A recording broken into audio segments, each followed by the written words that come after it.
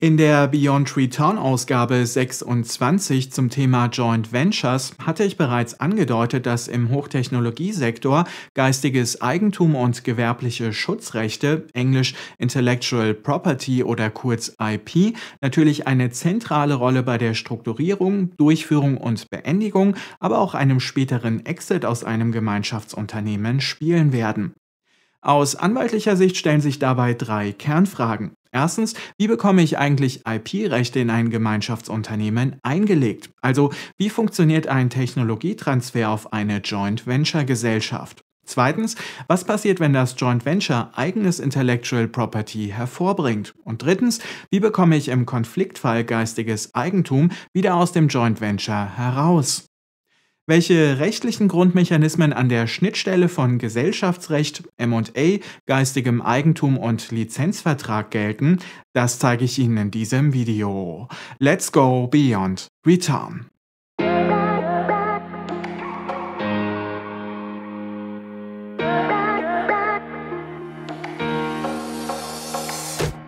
Und damit herzlich willkommen zu einer neuen Ausgabe von Beyond Return. Mein Name ist Fabian Ahelger, ich bin Rechtsanwalt in Frankfurt am Main, spezialisiert auf Unternehmens- und Finanzierungsrecht und berichte hier auf Beyond Return über spannende Themen aus der Finanz- und Geschäftswelt. Wenn Sie also mit beiden Beinen im Wirtschaftsleben stehen, empfehle ich Ihnen diesen Kanal zu abonnieren. Während des typischen Lebenszyklus einer Joint Venture Gesellschaft nimmt geistiges Eigentum in Form von Patenten, Marken, Gebrauchsmustern, Geschmacksmustern, Halbleitertopographien, Internetdomains, Urheberrechten an Softwarecode, Geschäftsgeheimnissen und Know-how üblicherweise eine zentrale Rolle ein. Joint Venture Partner möchten bereits existierendes IP bzw. entsprechende Lizenzrechte zur Verfügung stellen und durch das Joint Venture selbst geschaffenes IP soll einerseits geschützt, andererseits aber unter bestimmten Bedingungen durch die JV-Partner individuell genutzt werden können. Aus anwaltlicher Sicht stellen sich dabei verschiedenste Fragen, die es bei Anbahnung und Abschluss eines Joint Venture Vertrages zu berücksichtigen gilt. Sehen wir uns zunächst einmal die erste Frage genauer an, also die, wie man existierende geistige Eigentumsrechte im Zuge eines Technologietransfers in eine Joint Venture GmbH hineinbekommt. Zunächst ist zu unterscheiden zwischen einer Einlage in das Stammkapital der GmbH und einer sonstigen Überlassung an die GmbH. Wird auf einen Gesellschaftsanteil durch den Zeichner etwas anderes als Geld, also statt einer Bareinlage eingebracht, spricht man von einer Sacheinlage in das GmbH Stammkapital. Sacheinlagefähig sind nach heute herrschender Meinung alle materiellen und immateriellen Wirtschaftsgüter sowie Rechte, sofern ihnen ein Vermögenswert beigemessen werden kann. Einlagefähige Wirtschaftsgüter sind folglich auch und gerade Immaterialgüterrechte, wie etwa Patente, Gebrauchsmuster, Marken- und Geschmacksmusterrechte, gewerblich verwertbares Know-how wie beispielsweise noch nicht patentierte Erfindungen, Herstellungsverfahren und Domains sowie derivative Nutzungs- und Verwertungsrechte an all diesen Rechten, also das, was wir als Lizenzen bzw. Lizenzrechte bezeichnen. Die Übertragungsvorgänge folgen bei einer inkorporierten Technologiepartnerschaft den jeweiligen Spezialgesetzen für Intellectual Property, jeweils in Verbindung mit dem BGB oder, falls für das konkrete Immaterialgüterrecht kein Spezialgesetz existiert, ausschließlich den allgemein zivilrechtlichen Regeln der Paragraphen 413 398 fortfolgende BGB. So werden Patente beispielsweise nach Maßgabe von 15 Patentgesetz übertragen, Marken nach Maßgabe von 27 Markengesetz und Gebrauchsmuster nach Maßgabe von 22 Gebrauchsmustergesetz. Hinsichtlich geschützter Halbleitertopographien verweist daneben der 11 Halbleiterschutzgesetz auf den gerade schon genannten 22 Gebrauchsmustergesetz. Eine Besonderheit gilt nun allerdings für das Urheberrecht. Urheberrechte haben, etwa in Gestalt von Softwarecode, auch und gerade bei Joint Ventures und Venture Capital Finanzierungen im Hochtechnologiebereich bzw. einer typischen Hochtechnologiepartnerschaft zweier Unternehmen eine erhebliche praktische Bedeutung. Nach dem sogenannten Schöpferprinzip gemäß 7 Urheberrechtsgesetz entstehen Urheberrechte immer beim geistigen Schöpfer des Werkes und sind von diesem nicht wegübertragbar, sondern lediglich vererbbar. Das gilt gemäß 43 Urheberrechtsgesetz sogar prinzipiell dann, wenn ein Arbeitnehmer in Ausübung seiner Tätigkeit beispielsweise einen Quellcode für seinen Arbeitgeber entwickelt. Hier liegt das Urheberrecht nach Gesetzeslage beim Arbeitnehmer. Das wirtschaftliche Verwertungsrecht fällt aber gemäß 69b Urheberrechtsgesetz an den Arbeitgeber. Auch hier wird also wieder das urheberrechtliche Schöpferprinzip sehr deutlich. Software-Quellcode und der Objektcode eines Computerprogramms sind demnach also eine klassische über das Urheberrecht geschützte geistige Schöpfung des Programmierers. Das Urheberrecht verbleibt jetzt also grundsätzlich beim Schöpfer und ist nicht übertragbar. Stattdessen kann aber natürlich ein Nutzungsrecht an Software-Quellcode, also eine Softwarelizenz, in die Joint Venture GmbH als Sacheinlage eingelegt werden. Werfen wir einmal einen Blick in den zentralen Paragraph 29 Urheberrechtsgesetz.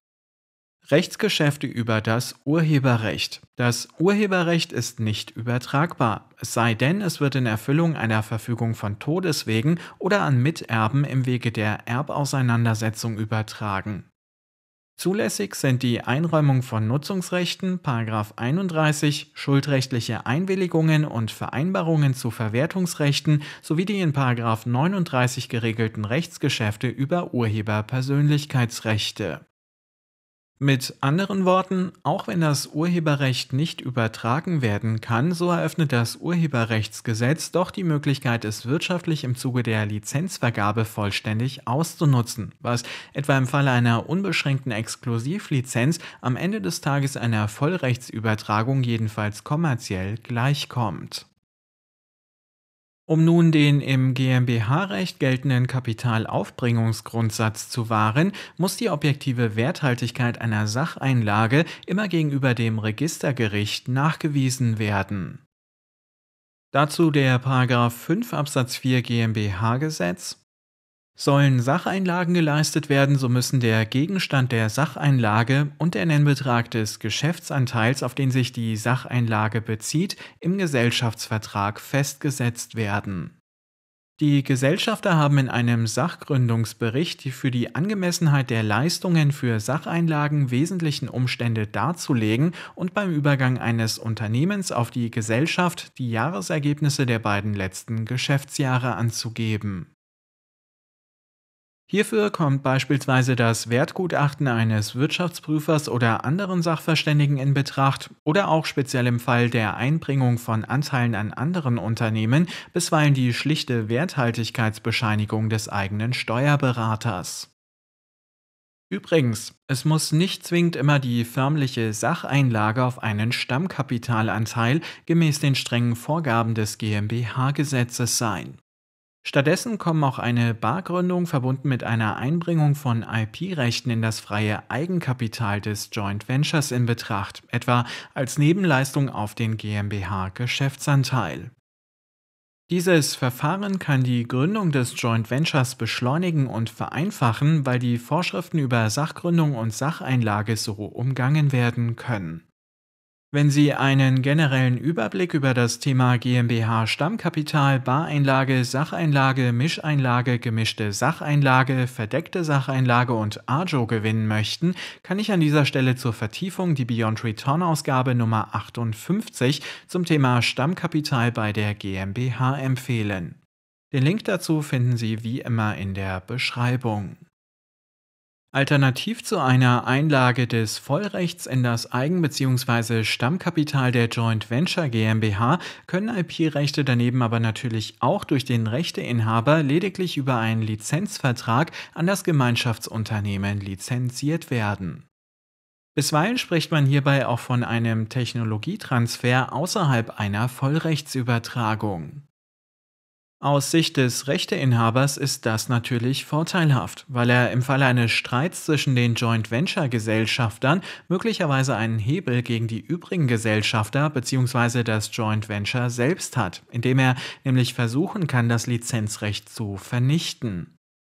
Spiegelbildlich dazu ist das für die übrigen Joint Venture Partner natürlich eines der Hauptargumente, warum Intellectual Property möglichst in das Stammkapital eingebracht werden sollte. Dort steht es der Gesellschaft bis zur Liquidation als Teil des Eigenkapitals zur Verfügung, und zwar ohne Möglichkeit von rechtstaktischen Spielchen, wie etwa dem der Kündigung des Nutzungsrechts im Falle einer bloßen Lizenzierung. Legt der Rechteinhaber großen Wert darauf, Inhaber seiner IP-Rechte zu bleiben, gibt es aus anwaltlicher Sicht aber auch Kompromisslösungen, wie beispielsweise eine unwiderrufliche Lizenz, die nur aus wichtigem Grund beendet werden kann. Aus juristischer Sicht sind derartige Gestaltungen jedoch sehr anspruchsvoll, weil man in jedem Fall die aktuelle Rechtsprechung und Literatur zum Thema im Auge behalten muss. Nur so lässt sich das mögliche Beendigungsrisiko einer Lizenz durch einen Joint Venture Partner und die damit verbundenen wirtschaftlichen Folgen richtig einschätzen. Zum Thema wirtschaftliche Verwertung von geistigem Eigentum durch Technologietransfer hatte ich übrigens hier im Kanal bereits früher ein separates Video veröffentlicht, auf das an dieser Stelle hingewiesen sei. Neben an das Gemeinschaftsunternehmen übertragenen und an das Gemeinschaftsunternehmen lizenzierten IP-Rechten muss im nächsten Schritt bei der Gestaltung des Joint Ventures auch berücksichtigt werden, dass gerade im Hochtechnologiesektor, aber natürlich auch darüber hinaus das Joint Venture eigenes Intellectual Property hervorbringen kann. Für diesen Fall sollte das Joint Venture Agreement vorsorgliche Regelungen darüber enthalten, wie selbstgeschaffenes IP zu sichern, zu pflegen und zu verwerten ist und in einem Auseinandersetzungsszenario auf die einzelnen Joint Venture Partner aufgeteilt werden soll. Eine häufige Gestaltung in der Praxis besteht insoweit darin, dass den Joint Venture Partnern automatisch ein näher zu konkretisierendes Lizenzrecht an selbstgeschaffenem IP des Gemeinschaftsunternehmens eingeräumt wird. Wird das Joint Venture Unternehmen allerdings nach einiger Zeit im Zuge eines M&A-Deals abverkauft, verlangt die Käuferseite häufig den Verzicht auf derartige Lizenzen zum Closing hin. Schließlich möchte ein Unternehmenskäufer in der Regel das selbst geschaffene geistige Eigentum des erworbenen Joint Ventures vollständig, alleine und exklusiv wirtschaftlich verwerten können. Für den Fall der Beendigung des Joint Ventures sind daneben je nach Konstellation ergänzende Regelungen empfehlenswert, wonach übertragenes bzw. selbstgeschaffenes IP auf eine Lizenzholding ausgelagert wird oder das Joint Venture in eine solche Lizenzholding umfunktioniert wird und diese Zweckgesellschaft den ehemaligen Joint Venture Partnern wiederum gleichlautende Lizenzrechte einräumt. Über ein derartiges Lizenz-Treuhandmodell lässt sich also bei korrekter Ausgestaltung auch im Konfliktfall der wirtschaftliche Zugriff auf übertragenes oder durch das Joint Venture selbst geschaffenes Intellectual Property zumindest vertragsrechtlich absichern. Mehr zum Thema Konfliktlösung und vertragliche Konfliktlösungsmechanismen bei Joint Ventures bzw. Venture Capital und Private Equity finanzierten Unternehmen hatte ich übrigens kürzlich in der Beyond Return Ausgabe Nummer 72 vorgestellt, auf die an dieser Stelle verwiesen sei. Abschließend nur noch vier ergänzende Anmerkungen. Erstens sollte bei der Vollrechtsübertragung von geistigem Eigentum auf ein Gemeinschaftsunternehmen immer überlegt werden, ob dem einzubringenden IP-Rechteinhaber ein individuelles Nutzungsrecht nach dem Closing der Transaktion verbleiben soll. Ist das der Fall, beispielsweise weil ein Joint Venture Partner sein eingebrachtes Patent auch für sein eigenes Business jenseits des Gemeinschaftsunternehmens benötigt, kann man das in der Praxis über eine sogenannte Rücklizenzierung bzw. eine Rücklizenzvereinbarung adressieren. Dabei wird im Closing-Zeitpunkt zwar das Vollrecht übertragen, der übertragende Joint Venture Partner erhält jedoch gleichzeitig ein vertraglich näher zu spezifizierendes Rücklizenzrecht am eingebrachten IP. Zweitens ist bei der Einbringung von gewerblichen Schutzrechten in ein Joint Venture mindestens eine rechtliche Due Diligence Prüfung angezeigt, wobei der andere Joint Venture Partner den wirksamen Bestand, die Lastenfreiheit und die Integrität der einzubringenden oder zu lizenzierenden IP-Rechte vorab untersucht. Mehr zum Thema Due Diligence und Due Diligence Fallbacks erfahren Sie in den Beyond Return Ausgaben Nummer 37 und 75, die ich ebenfalls unten verlinke. Drittens kann die Einbringung von Immaterialgüterrechten und Know-how in ein Gemeinschaftsunternehmen im Einzelfall auch aus kartellrechtlicher Sicht bedeutsam sein. Die EU-Gruppenfreistellungsverordnungen sind also bei der Strukturierung eines Joint Ventures stets im Hinterkopf zu behalten. Und schließlich muss viertens das Spannungsverhältnis zwischen den eben angesprochenen Lizenzen bzw. Rücklizenzen an einzelne Joint Venture Partner und einem regelmäßig zu vereinbarenden Wettbewerbsverbot beachtet werden.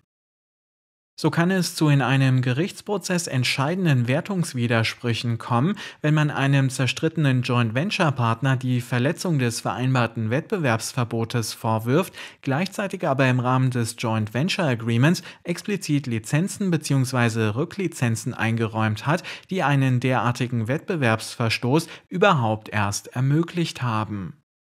Hier wird der Gegner natürlich behaupten, dass das Wettbewerbsverbot für mit dieser Lizenz oder Rücklizenz zusammenhängende Handlungen konkludent durch die Parteien abbedungen wurde. Hinsichtlich Aufbau und Funktionsweise moderner Wettbewerbsverbote und Abwerbeverbote im Venture Capital Bereich kann ich an dieser Stelle zum Abschluss noch die Beyond Return Ausgabe Nummer 33 zum Thema Non-Compete und Non-Solicitation empfehlen. Der Link dazu wie gewohnt in der Beschreibung. Geistige Eigentumsrechte können also nach deutschem Rechtsverständnis in eine Joint Venture GmbH ohne weiteres eingelegt werden. Sie sind also sacheinlagefähig, sofern ihnen ein wirtschaftlicher Wert zuzubilligen ist. Eine kleine Einschränkung gilt dabei allerdings bei Urheberrechten wie etwa denen auf den Quellcode einer Software. Die sind zwar vererblich, aber nicht übertragbar, sodass hier mit Lizenzvergaben bzw. einem Software-Lizenzvertrag gearbeitet werden muss. Ferner sollte jedes Joint Venture Agreement ausführliche Regelungen dazu treffen, wie mit durch das Gemeinschaftsunternehmen selbst geschaffenen IP-Rechten umzugehen ist und daneben auch den Fall adressieren, dass einer der Joint Venture Partner aus der GmbH ausscheidet. Eingangbarer Weg sind insoweit Treuhandkonstruktionen, die einzelnen Joint Venture Partnern die Inanspruchnahme von Lizenzen an zentral verwaltetem IP ermöglichen. Zur weiteren Vertiefung sei abschließend auf die eben bereits referenzierten Videos verwiesen, die Sie allesamt hier im Kanal sowie verlinkt in der Beschreibung finden. In diesem Sinne wünsche ich Ihnen alles Gute und sage bis zum nächsten Mal hier bei Beyond Return.